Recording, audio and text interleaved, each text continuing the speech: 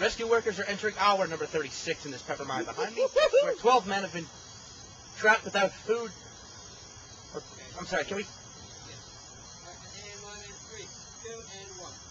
Thank you, Cameron. Rescue workers are entering hour number 36 in this pepper mine behind me, where 12 men have been trapped without food, water, or, uh, for up to 15. Now, what? What the fuck is that? All right, don't worry about it. Shake it off. Shake off slow. Uh, let's try again. Sorry. Slow. Okay, ready? And three. Thank you, Cameron.